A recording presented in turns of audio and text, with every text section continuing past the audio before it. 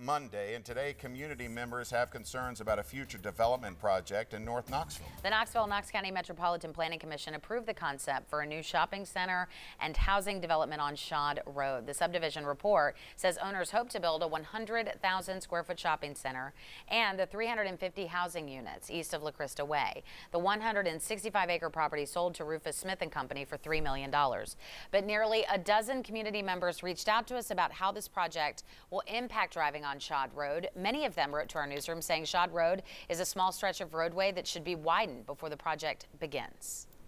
And 10 News reporter Yvonne Thomas shares more details on the project and how the road will change in the coming months and years. It's a nightmare because there's so much traffic.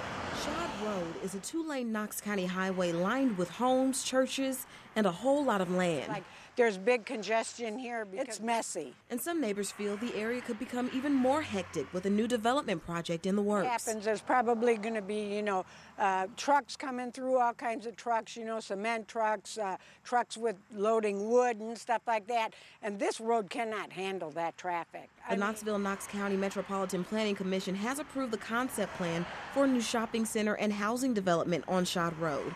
According to the subdivision report, owners hope to build a 100,000 square foot shopping center and 350 housing units east of La Crista Way.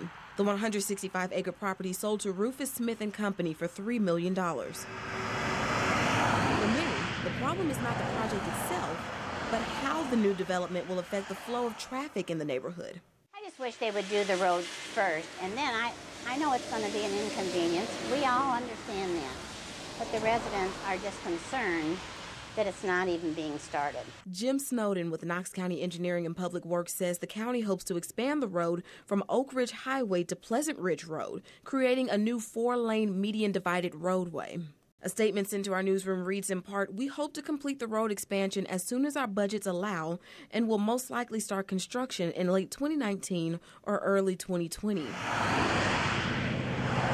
Yvonne Thomas, WBIR 10 News. Well, Knox County Engineering and Public Works says the county is finalizing the design plan to present during a public hearing in October. And according to the subdivision report, plans to start the development project are on hold until a property is rezoned for a residential area. And if there is a road that's driving you crazy, tell us about it. Send us an email at drivingyoucrazy at WBIR.com. We will take your questions to the people with the answers.